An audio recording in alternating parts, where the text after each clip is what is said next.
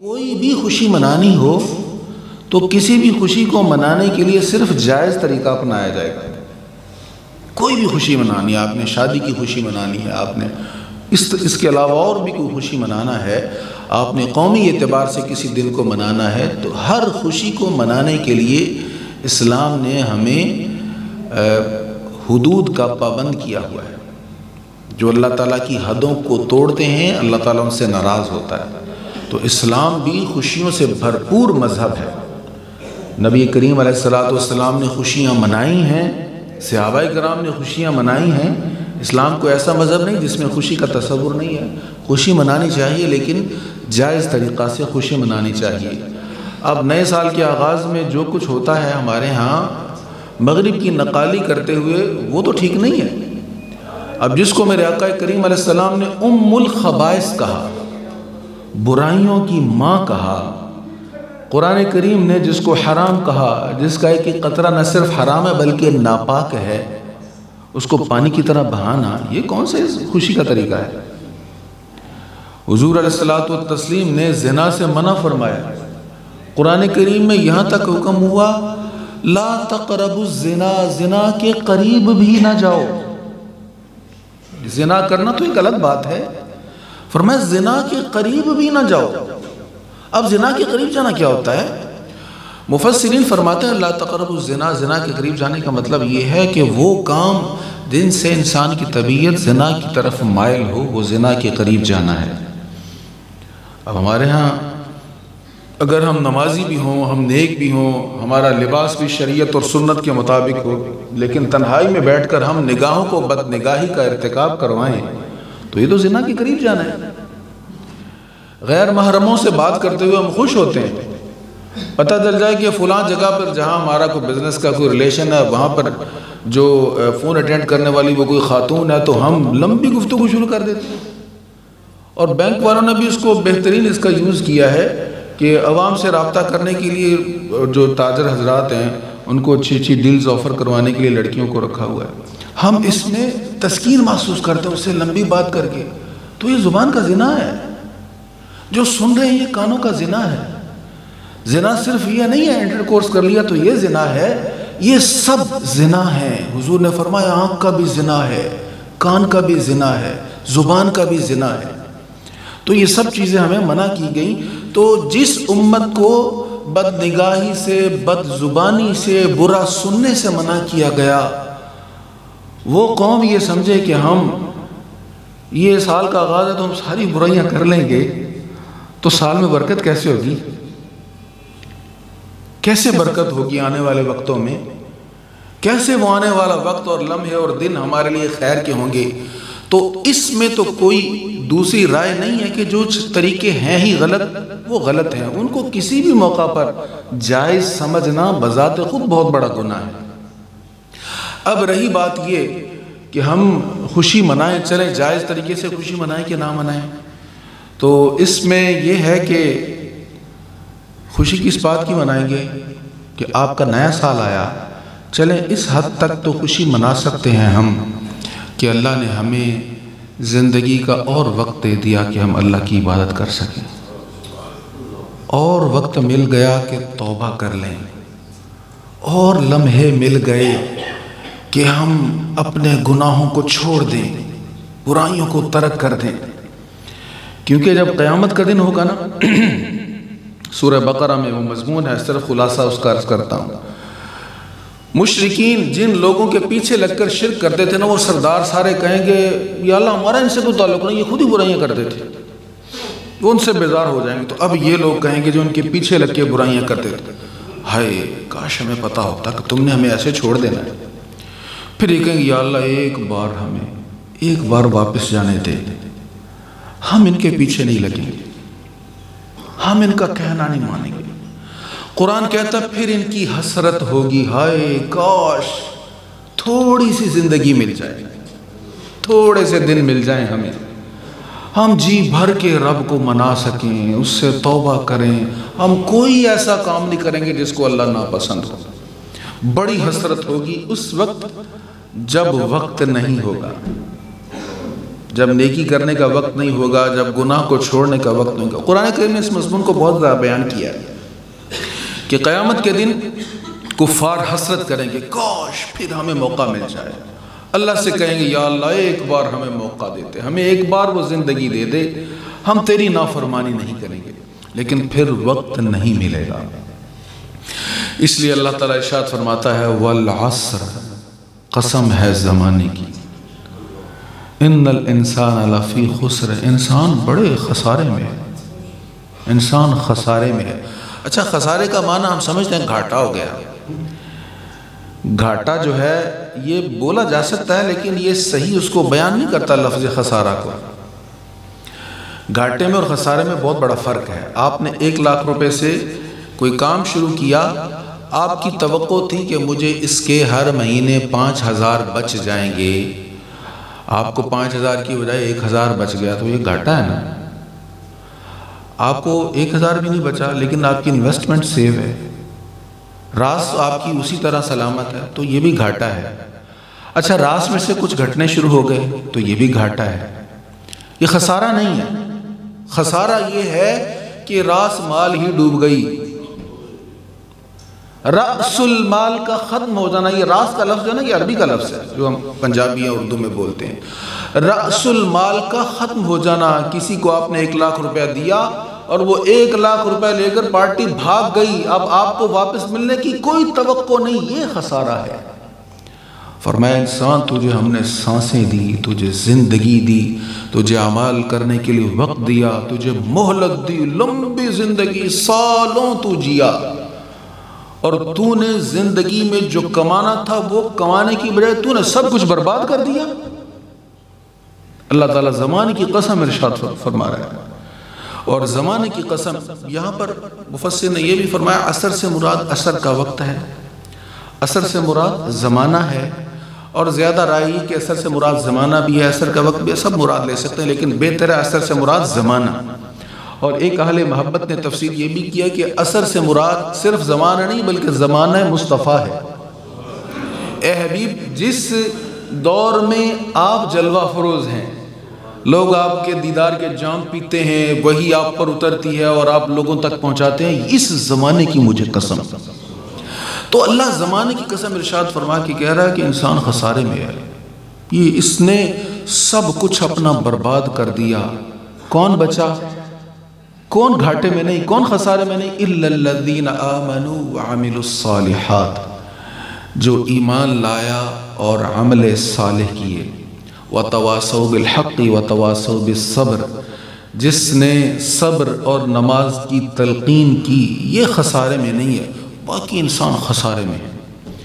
ईमान नहीं लाए ये आमले साले नहीं किए, सारी दुनिया इकट्ठी कर ली और दुनिया का मालो मता इकट्ठा कर लिया। और मैं तुम बड़े घाटे में हो। घाटे में ही नहीं, बल्कि तुम खसारे में हो। यहूद क्या करते थे? नबी करीम सलात व तस्लीम की निशानियों को छुपाते थे। तौरात में हुजूर सल्लल्लाहु अलैहि वसल्लम की अलामत थी, हुजूर की पहचान थी, हुजूर की सिफात सारी डिटेल के साथ लिखा हुआ था कि जो आखिरी नबी आएँगे, उनकी ये ये खूबियाँ होंगी, ये निशानियाँ हैं, ये निशानी, ये निशान, सब डिटेल के साथ बयान था।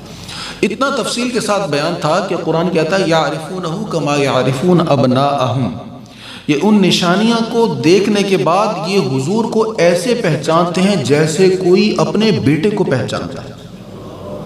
बल्कि हज़रत सईदना उमर ने हज़रत अब्दुल्ला बिन सलाम से पूछा, हज़रत अब्दुल्ला बिन सलाम पहले यहूदी थे, यहूदियों के बहुत बड़े आलिम थे, फिर इस्लाम कबूल कर लिया। हज़रत अब्दुल्ला बिन सलाम से पूछा, क्या वाकई आप लोग हुजूर को ऐसे पहचानते हैं जैसे कोई अपने बेटे को पहचानते हैं? कहते, नहीं, उससे ज़्यादा। कहते, बेटों को तो हमने जाना अपनी बीवी के कहने पर। बीवी ने कहा कि ये मेरा और आपका ताल्लुक था तो मैं प्रेग्नेंट हुई तो ये तुम्हारा बेटा है। तो बीवी के कहने पर हमने बेटे को पहचाना और हुजूर को हमने पहचाना अपनी किताब में अल्लाह के कहने पर। तो वो पहचान ज़्यादा मज़बूत है। तो कहते थे, हम हुजूर को पहचानते थे। अब ये क्या करते थे? यहूद। हज़रत अब्दुल्ला बिन सलाम और इनके कुछ साथी थे, वो तो सच्चे यहूदी थे, सही मानों में अमल करने वाले थे किताब पर।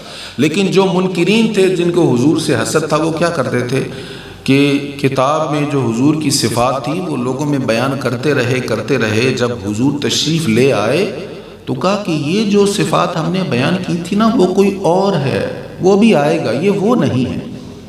हालाँकि वो हुजूर को पहचानते थे। जहाँ पर हुजूर असलात तस्लीम की तारीफ़ में कोई ख़ास बात है, उसके ऊपर हाथ भी रख देते थे, अगर कोई देखने के लिए खुद किताब को आ जाता।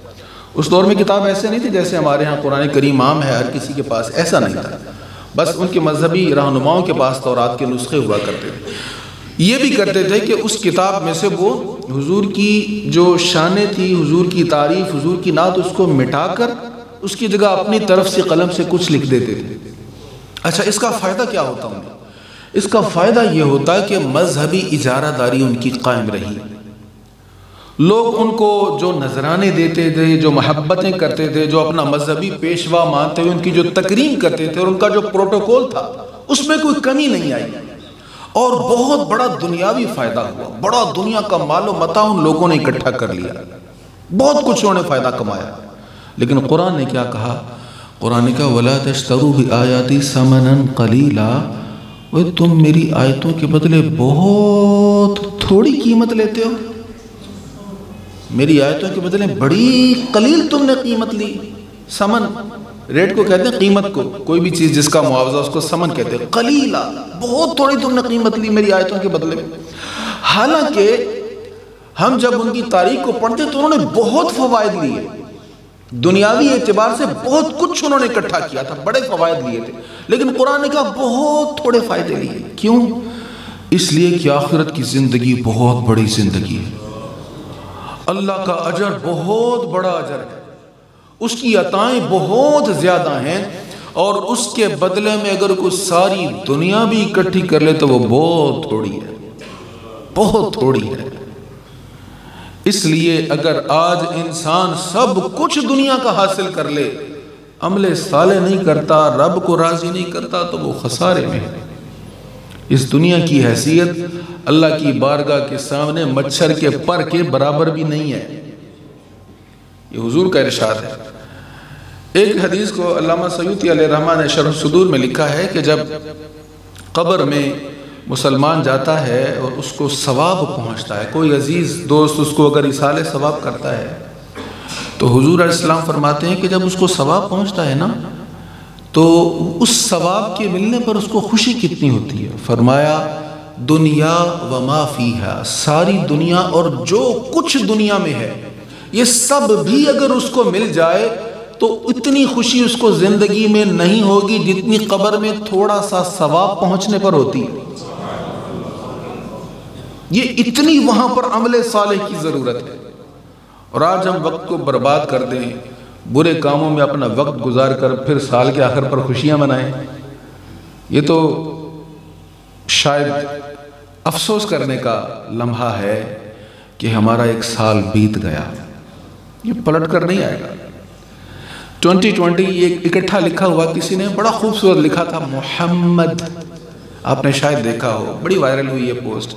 हजूर इस्लाम का इसमें ग्रामी 20 और 20 मिलाकर इस अंदाज से लिखा था कि मोहम्मद लिखा हुआ था। कैसा खूबसूरत साल था। वो बीत गया, वो नहीं आएगा पलट के। कुछ भी कर लें, सारी दुनिया का सरमाया खर्च कर लें, वो वक्त लौट कर नहीं आएगा। उस वक्त में माजी में जाकर हम कोई अमल नहीं कर सकते। वो जो मौका था, वो हमसे छिन गया। लेकिन उस वक्त के जो गुनाह हैं, वो तो पड़े हुए हैं। वो तो बाकी हैं। अगर तो किसी ने अपने वक्त को बहुत अच्छा इस्तेमाल किया तो वो खुश हो कि अल्हम्दुलिल्लाह, मैंने साल अच्छा गुजारा। लेकिन अगर बुराइयों में साल गुजरा, वक्त को ज़ाय करते हुए गुजरा, फिर किस बात की खुशी? नबी करीम तस्लीम की हदीस बड़ी तड़पा देने वाली हजूर ने फरमाया, कोई शख्स क़यामत के दिन हिल नहीं सकेगा।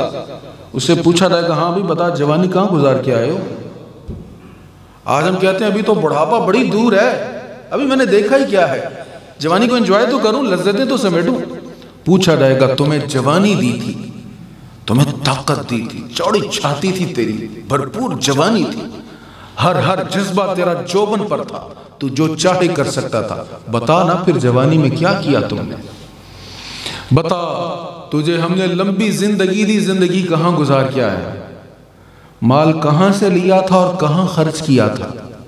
हम समझते हैं सिर्फ़ माल कहाँ से लेना है, यही आम चीज़ है। नहीं, ये भी बड़ा अहम है कि उसको खर्च कहाँ पर किया था।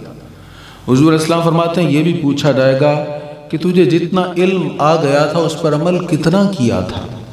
ये जवाब दिए बगैर कोई हिल नहीं सकेगा। सोचें ज़रा हम हम अपने औकात का, अपने मामला का अल्लाह की बारगाह में जवाब दे सकेंगे। लेकिन अल्लाह की रहमत से उम्मीद इसी सूरत में लगाई जा सकती है हम चीज़ों की कदर करें और फिर कहें, मौला, हम जवाब नहीं दे सकते। अदल करें ते थर थर कम्मण ऊंचिया शाना वाले। फजल करें ते बख्शे जावण में जय मुँह काले। वो तेरे हबीब से हमने सुना था कि सत्तर हज़ार की बेहिसाब बख्शिश होगी। मौला हमारा नाम भी उनमें शामिल कर दे। हम समझते हैं हमने वक्त को गुजारा है। फिलोसफर कहते कहते वक्त को हम नहीं गुजारते, वक्त हमें गुजार रहा है। हम वक्त को रोक सकते हैं जो हम गुजार रहे हैं इसको। हम एक लम्हे को नहीं रोक सकते। हम यहाँ बैठे मैं आपसे मारूजात अर्ज़ कर रहा हूँ, आप मुझे सुन रहे हैं। इस वक्त को हम रोक नहीं सकते। ये गुजर ही रहा है, गुजर जाएगा। कोई अयाशी में गुजारे, उसका भी गुजर जाएगा। कुछ सोकर गुजारे, उसका भी गुजर जाएगा। कोई अमल साले करके गुजारे, उसका भी गुजर जाएगा। लेकिन कीमत उसी की होगी जिसने रब को मनाते हुए वक्त गुजारा। कोई वक्त अल्लाह की राह में गुजरे तो उस पर हमें खुश होना चाहिए। और अगर वक्त बर्बाद हो, गलत जगहों पर सर्फ हो तो उस पर नादिम होना चाहिए। मेरे आका करीम सलात व तस्लीम ने फरमाया, पाँच चीज़ें हजूर ने फरमाई। फरमाया, पाँच चीज़ों को पाँच चीज़ों से पहले गनीमत जानो, आपने बारहा वो हदीस सुनिए और उसमें भी वक्त की कदर के बारे में फरमाया गया। बुढ़ापे से पहले जवानी को गनीमत जानो, कुछ कर लो। जब तुम्हारे पास फरागत हो वक्त है तुम्हारे पास और फिर तुम मसरूफ हो जाओगे। तो मसरूफियत से पहले फरागत को गनीमत जानो। बीमारी से पहले सेहत को गनीमत जानो। तुम मुफलिस हो जाओ, तुम्हारे पास माल ना रहे, अल्लाह की राह में खर्च करने के लिए उससे पहले उस वक्त को गनीमत जानो जब तुम्हारे पास माल है और तुम्हें मौत आ जाए, उस वक्त से पहले अपनी ज़िंदगी के लम्हात को गनीमत जानो। सरकार इस्लाम फरमाते हैं, लोगों के पास दो बहुत बड़ी नेमतें हैं जिनमें बड़ी फजूल खर्ची करते हैं। वो दो नेमतें कौन सी हैं? फरमाए, एक सेहत, एक फरागत। इन दोनों चीज़ों में लोग बड़ी फजूल खर्ची करते हैं, इसको गलत खर्च करते हैं। अल्लाह हमें अपने वक्त को सही खर्च करने की तोफ़ी नसीब फरमाए। वाखरुदावा रबालमीन